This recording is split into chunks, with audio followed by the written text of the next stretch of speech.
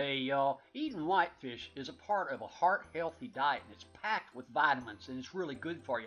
But a lot of people are not a fan of fish because of the smell and the taste. Tonight I'm going to introduce you to a particular kind of fish that's absolutely wonderful. You'll be a fan forever. Stay tuned for Parmesan crusted Alaskan pollock.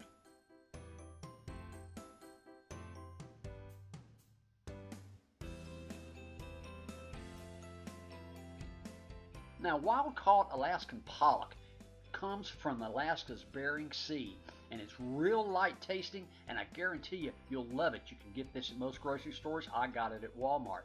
Start off in a bowl adding panko breadcrumbs along with some paprika and salt, cracked black pepper, dried parsley, and Parmigiano Reggiano cheese. Give this a quick mix, set aside. In another bowl add some lemon juice, coat both sides of your fish, then into your breading. Make sure it's well coated on all sides.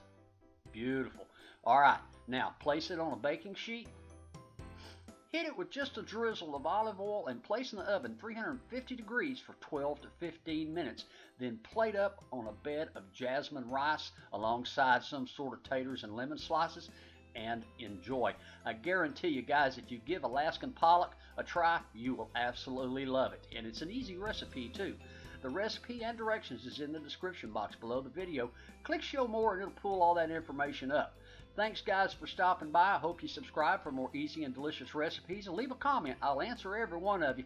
But until next time, bye bye y'all.